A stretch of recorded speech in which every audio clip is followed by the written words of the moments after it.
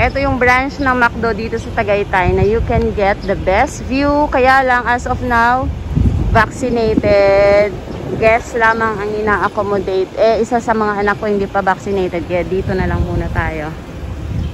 Yan. Dito tayo sa view.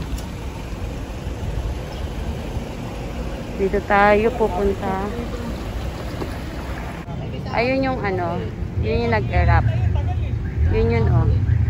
Hindi iyan yung hindi iyan yung bulkan, kundi ayun. Yun, yun, yun yung bulkan. Yun yung nag-erupt. Yan. Yan. Yan yung isla. Mismo. Yan yung tumabog. Nakakabit siya sa bundok. Kasi akala natin, ang taal ay iyan. Ang bulkang taal, ang akala natin ang bulkang taal ay iyan, pero hindi. Yun yun. Yan, yung tiny na, ayan.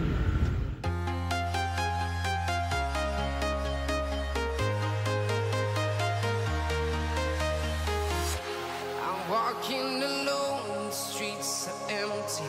The only thing I can see is my own silhouette. I'm getting stronger, step by step. The clock is ticking, but there's no time for me.